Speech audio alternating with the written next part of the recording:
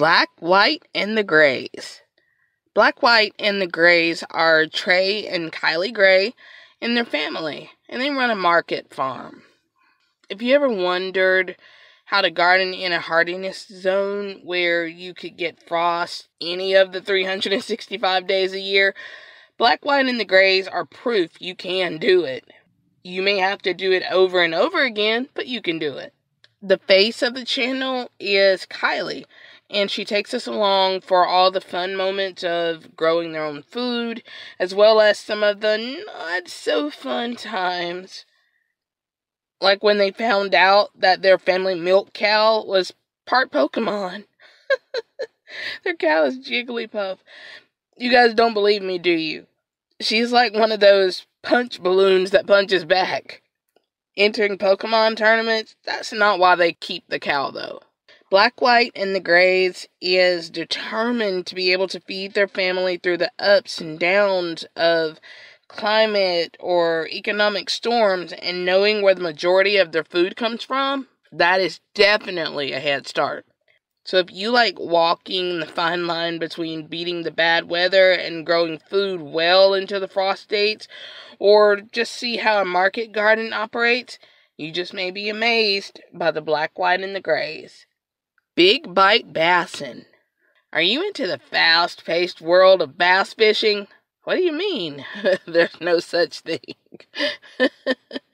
Big Bite Bassin compiles his videos down to segments that are mostly um, 10 minutes or less, although if you're looking for something to watch that lasts as long as the morning constitution, he's got some that go a few minutes longer. Ah, he turned his thumb into fish num nums. but it's all bass all the time here except maybe that one time. Big Bite Bassin shows that bass fishing isn't always a relaxing and inspiring adventure. Sometimes it's like, got it, don't got it, got it, don't got it. but the most entertaining are the DIYs, like how to hook yourself. He did a better job with that piercing than the pros do. It's only happened twice, and I'm sure it was just as funny the first time it happened. So if you like seeing bass and tons of fingers and bass mouths, Big Bite Bassin has all the bass and only a little of the sass. Check him out. Osiadacz Family Farm.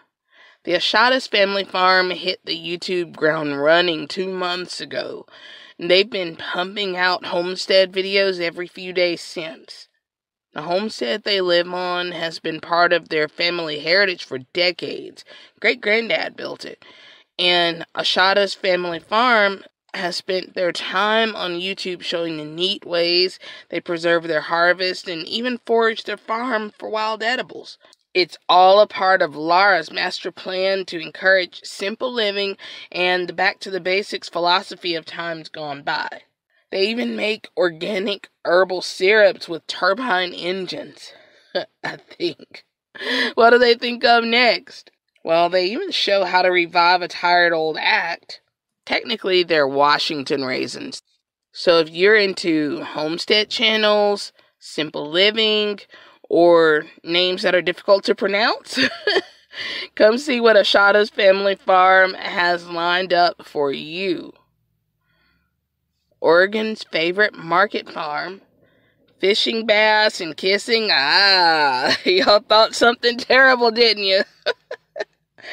Washington's family heirloom homestead. Are these your people?